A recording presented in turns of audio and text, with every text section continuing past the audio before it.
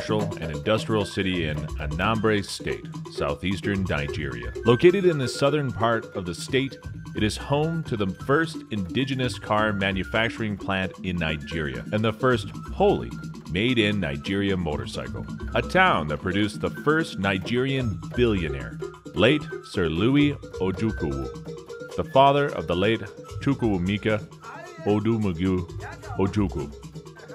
Umuokpu Nnewi, USA comprises indigenous daughters of Nnewi Town and Diaspora, united in a common purpose of bearing one another's burden and contributing to the development of our town, Nnewi.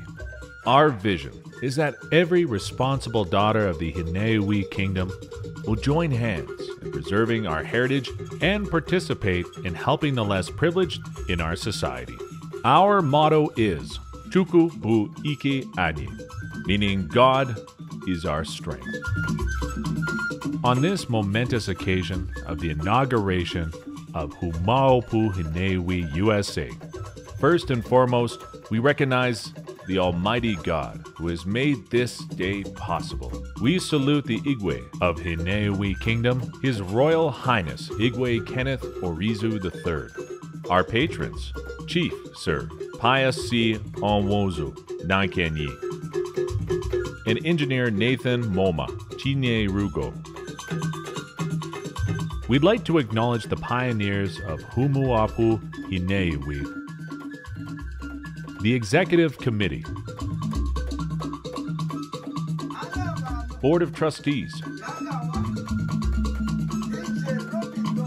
our Entertainment Committee,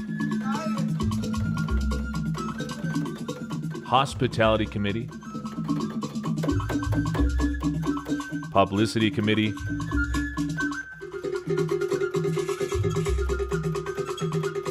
and every member of Umuokpu Nnewi.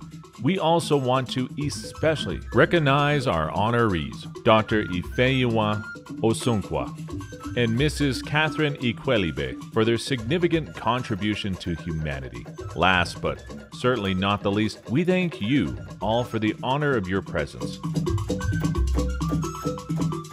Ladies and gentlemen, both live and virtual, please put your hands together and welcome the president and founder of Umuokpu Nnewi USA, Dr. Nene Onwuzo Adajino, and our inaugural chairlady, the vice president of Umuokpu Nnewi, Mrs. Ifeyiwa Moma Dimani. Applause, applause, applause.